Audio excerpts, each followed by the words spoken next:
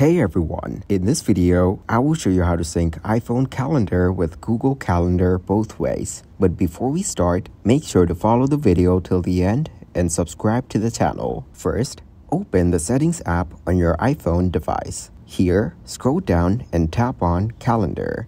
Then select Accounts. Next, select the Add Account option. Tap Google from these options and enter your Google account information. First, add your email addresses and tap on Next. Then add your password. You'll be asked for a verification. Once done, you will see the access permission that your iOS allows. Scroll down and tap on Allow.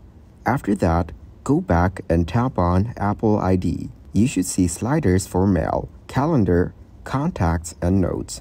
If you just want to sync Calendar, then slide the other apps off. After that, open the Calendar app. At the top right, you will see a Calendars icon. Tap on it. Here, select Manage your Google account. Tap that to view all of the Google calendars that have been synced. Check to see if all your calendars are marked to be syncing.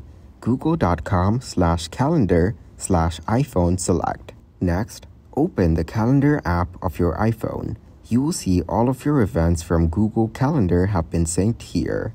Thanks for watching. Make sure to like and subscribe.